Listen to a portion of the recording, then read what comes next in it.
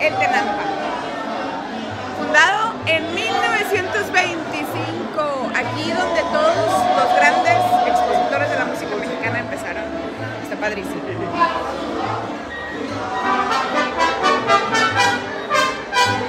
El comerciante coculense Juan Hernández funda el Salón Tenampa en el año 1925 con el mariachi Cocula desde Jalisco.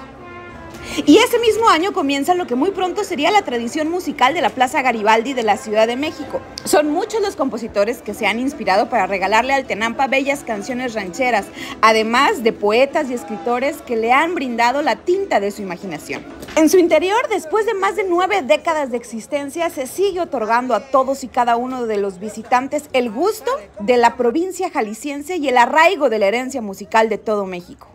José Alfredo Jiménez y Chabela Vargas fueron clientes consentidos en la época de oro. Se dice que en el Tenampa se inspiraban para componer sus canciones. José Alfredo Jiménez compuso la canción Mi Tenampa como homenaje al hogar de cientos de melodías.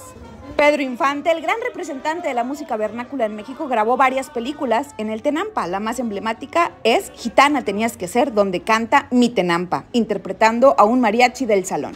Desde Jorge Negrete, Lola Beltrán hasta Luis Miguel son muestra de todas las estrellas que han disfrutado la esencia del Tenampa. Y es que en este lugar puedes disfrutar una bebida mexicana, una comida deliciosa, cantar, bailar, reír y conocer a gente de cualquier parte del país y del extranjero. Sin duda, si visitas la Ciudad de México, el Tenampa debes de conocer, porque la historia, las raíces, la cultura y la tradición mexicana es la esencia de este lugar. Así que en tu próxima visita a la Ciudad de México, ve al Tenampa y con un buen